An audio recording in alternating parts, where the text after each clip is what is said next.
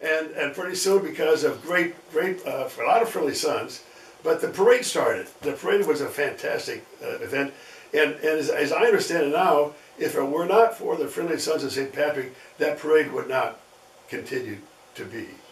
The money raised uh, uh, by the Friendly Sons through whatever it is uh, goes ahead and feeds whatever the costs are to, for the Friendly Sons, which is a very very good.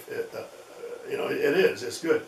So, but but back when I in the '70s, there was no parade, and there was no uh, really singing going on on, on, on St. Patrick's Day.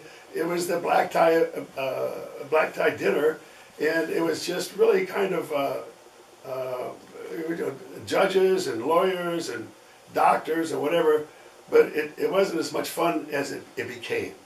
So I, I would I would say that that uh, certainly uh, Mike Neil and his ilk made that happen, uh, um, and uh, we had we had a wonderful uh, uh, we had a wonderful tie-in because of Neil and Colonel Kelly and Hondo and whatnot with the military. San Diego's a military town, and and there's a lot of Irish in the military. So I think that was a, a big shot in the arm for the Friendly Sons, uh, and uh, that that that, that uh, brought in more members that were patriotic and loved our country and loved being Irish.